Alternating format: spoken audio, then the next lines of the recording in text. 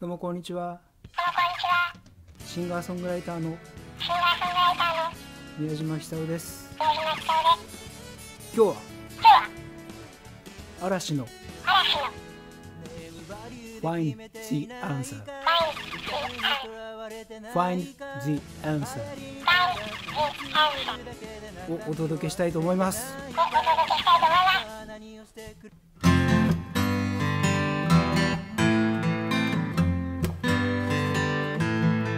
風がこの心を吹き抜けても揺るがない。そんな強さを少しずつ集めてきたんだ。声にならない叫びを街の喧騒が遠慮なくさらう。時に僕らは臆病にもなるけれど。たとえかすかな望みでも心に気づく限りたどり着けるよ。きっとただ一つの答えに。かけがえないものだけを抱きしめて生きてゆけばいいさ。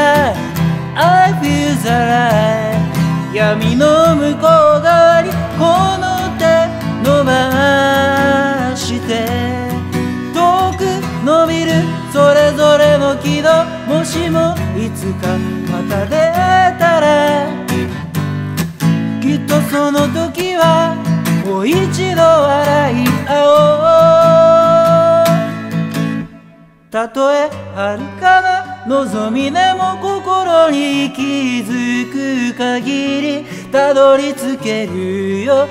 きっとただ一つの答えにかけがえないものだけを抱きしめて生きてゆけばいいさ。I feel the light 闇の向こう側にこの手伸ばして、えー最後まで視聴いただきありがとうございました。宮島久夫です、えー今ですね僕の最新アルバム「ハートストリングスの12曲を、えメルマガ登録していただいた方に、無料で差し上げることをやっております。ぜひメールマガ登録してください、いろんな最新情報やねあの制作秘話などもね随時メールしております。メールしてますので、よろしくお願いします、スマホの方は動画の右下のところ下三角をポチッと押してもらうと、え2行目に URL が出てきますのでそこをクリックしていただくとメルマガ登録ページに飛びます、えーぜひよろしくお願いします。ありがとうございました。